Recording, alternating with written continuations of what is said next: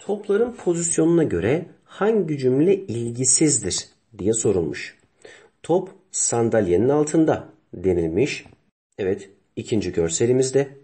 Top sandalyenin karşısında demiş B şıkkında ama öyle bir görselimiz olmadığı için zaten cevabımız B şıkkı olacak. The ball is on the chair. Yani top sandalyenin üstünde. Evet görselimiz de bu şekilde. Top chair yani sandalyenin bitişiğinde. Üçüncü görselimizde de bu şekilde. İlk görselimizde the ball is behind the chair. Yani sandalyenin arkasında. Behind dediği arkasında.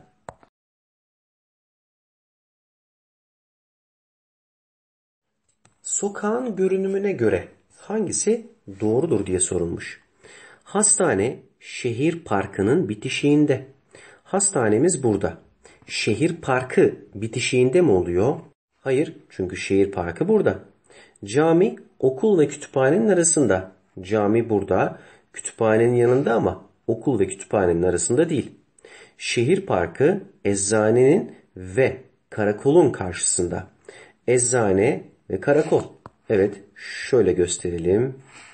Şu şekilde biraz daha kalınlaştıralım. Gördüğünüz gibi burası kesinlikle doğru. Cevabımız C şıkkı olacak.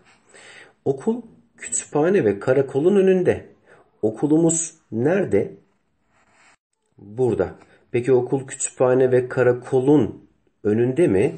Hayır. D şıkkı da yanlış.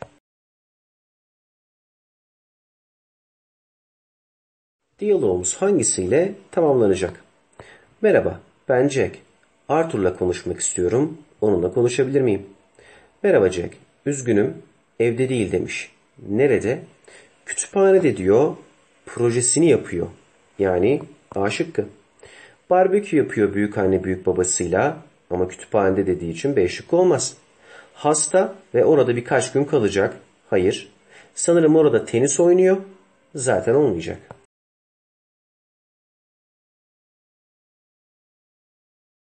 Tina'nın cümlesi hangisiyle tamamlanacak? Merhaba Cindy. Hediye almak istiyorum küçük kız kardeşim için. Oyuncak mağazası var evimizin yakınında ama kapalı.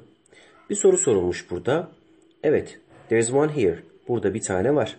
You know our house. Evimizi biliyorsun. İtfaiyenin bitişiğinde. Evinden dümdüz ilerle. Sokak boyunca demiş burada. Brown sokağından sola dön, solunda kalıyor. Teşekkürler Cindy. Emma mutlu olacak. Burada can you open it? Açabilir misin? Oraya nasıl gidebilirim? Oraya nasıl gidebilirim değil. Oraya nasıl gidebilirim dedikten sonra evet ile cevap verilmez. Seçeneğimiz C şıkkı. Is there one around your house? Evinin etrafında bir tane var mı? Evet demiş Cindy.